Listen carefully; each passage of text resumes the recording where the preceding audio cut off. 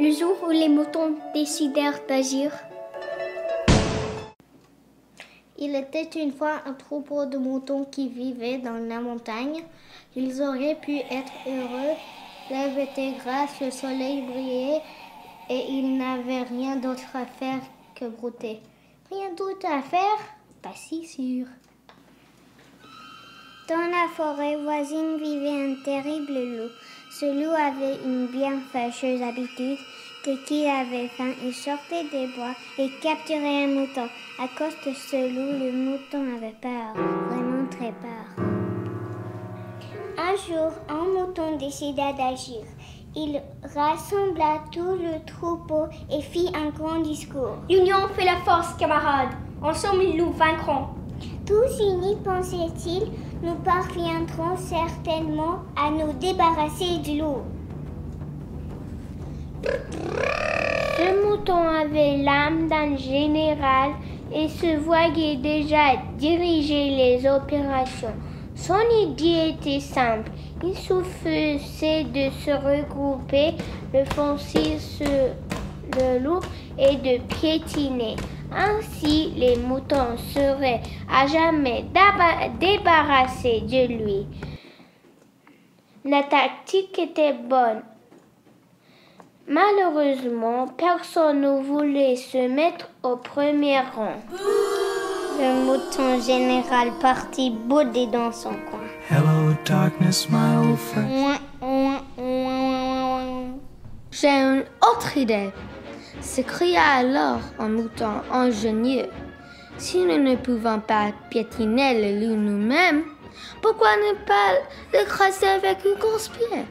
D'abord, trouvons un rocher, ensuite un levier, et enfin quatre moutons robustes pour hisser le rocher en haut de la montagne. Et quand le loup viendra, nous précipiterons le gros rocher sur lui. Tout le monde convainc que l'idée était excellente, mais personne ne voulait hisser le rocher au sommet de la montagne. Le mouton ingénieux partit bouder dans son Hello, darkness, my old friend. C'est alors qu'un vieux mouton s'avance. C'était un sage. Il savait tout sur tout. Fabriquant plutôt une catapulte, lançait-il ainsi nous projetterons ça sans effort des pierres sur notre ennemi et nous serons débarrassés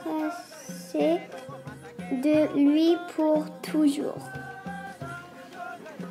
Pour fabriquer une catapulte, il nous faut des poulies, des engrenages, des cordes, des grosses poutres et surtout beaucoup de travail.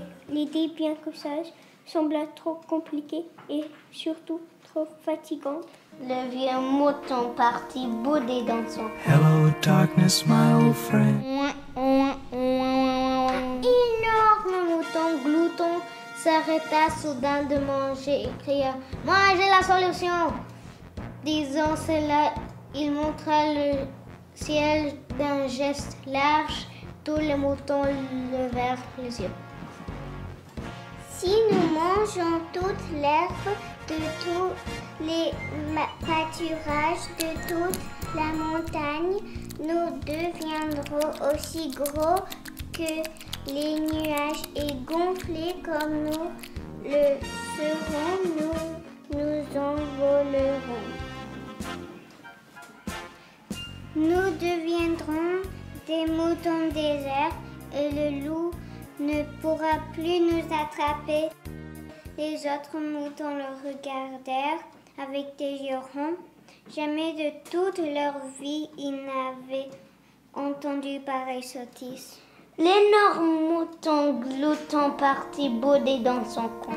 Hello, darkness, my old friend. Mais bientôt, un mouton qui avait plus de bon sens que les autres montra une paire de ciseaux à ses camarades et dit Coupons plutôt notre laine. et avec elle fabriquons un filet. Et grâce à lui, nous capturerons le loup, couper notre laine, rétorquer un mouton. Es-tu devenu fou?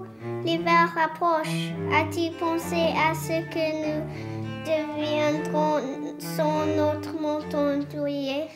Le mouton qui avait plus de bon sens que les autres partit bouder dans son coin. Hello, darkness, my old friend.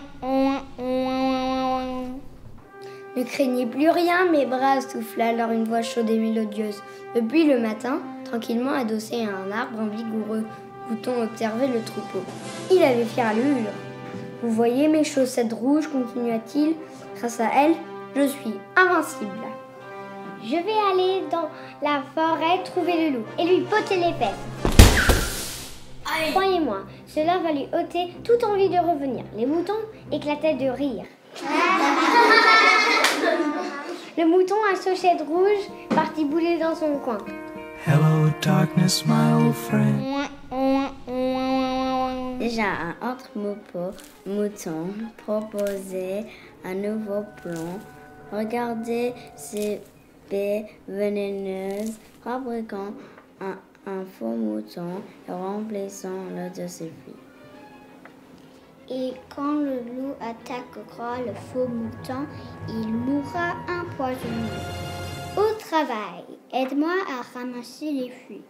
Oh non, j'y touche pas ces poisons, répondit un de ses camarades. L'autre mouton partait bouder dans son coin. Hello, darkness, my old friend. Arrêtez donc vos idioties Regardez ce que j'apporte Un mouton s'avançait avec dans les mains un drôle de masque, aux longues oreilles noires. Des oreilles de loup Pour ne pas se faire manger par le loup, dit-il, rien de plus simple. Il suffit de lui ressembler. Regardez mon costume Mais à peine a-t-il enfilé son déguisement que les autres moutons s'enfuirent en hurlant. L'idée n'était pas bonne. Le mouton loup partit bouder dans son coin. Hello, darkness, my old friend. Quand le troupeau fut à nouveau rassemblé, un mouton à la voix sinistre prit la parole. Pour éliminer le loup, mettons le feu à la forêt. Il prendra feu et nous serons définitivement débarrassés de lui. Voyons, c'est impossible. Notre laine brûlerait aussi. Et sans laine, pas de filet. Renchérit le mouton qui avait plus de bon sang que les autres.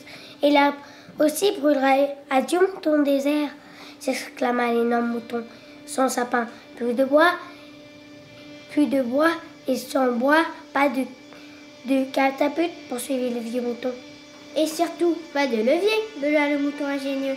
Et si nous brûlons, comment trouver la force de piétiner le loup conclut le mouton général. Tous les moutons étaient très énervés. Chacun voulait qu'on fasse à sa manière.